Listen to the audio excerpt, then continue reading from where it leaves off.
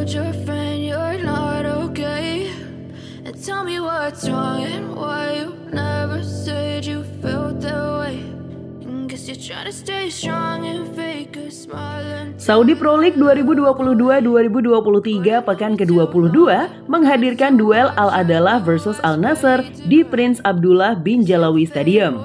Dua gol kemenangan Al-Nasr di kandang Al-Adalah diborong oleh sang kapten Cristiano Ronaldo.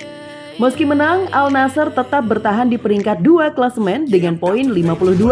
Cause every time I wake up I feel like it's Monday Something's going wrong with all the chemicals up in my brain All of a sudden I don't look at anything the same way Gotta build up of my thoughts sitting in an ashtray I'm sorry Total tujuh kali percobaan membuka peluang untuk gol. Taliska yang menjadi pemotor serangan pun beberapa kali mengancam gawang Al Adalah. Ronaldo pun tetap menjadi target serangan. Namun, penjagaan ketat dilakukan dan sejumlah umpan lambung berhasil dihalau lini belakang Al Adalah. Insiden terjadi di area terlarang Al Adalah. Gelandang serang Al Nasser jatuh karena terlibat duel dengan bek lawan. Wasit pun meminta pengecekan VAR. Hasilnya, sebuah hadiah penalti diberikan dan sukses dieksekusi Ronaldo.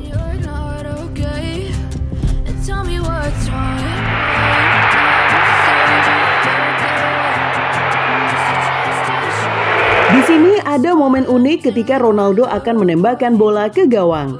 Salah satu pemain Al Nassr membelakangi Ronaldo dan mencoba menebak ke mana arah bola. Belum tahu apa maksud dari pemain itu.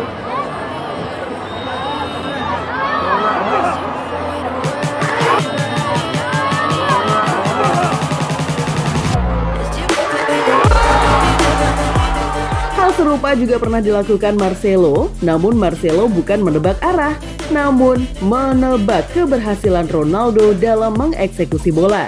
Dia selalu berselebrasi duluan ketika Ronaldo belum menembakkan penaltinya.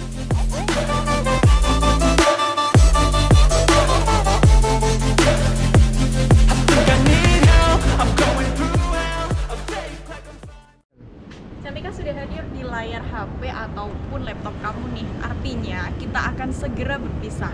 Tapi tenang aja, kita akan bertemu lagi di lain kesempatan. Tentunya pembahasan informasi dan berita seputar mega bintang Cristiano Ronaldo. Jadi, pantengin terus CR7 ID ya.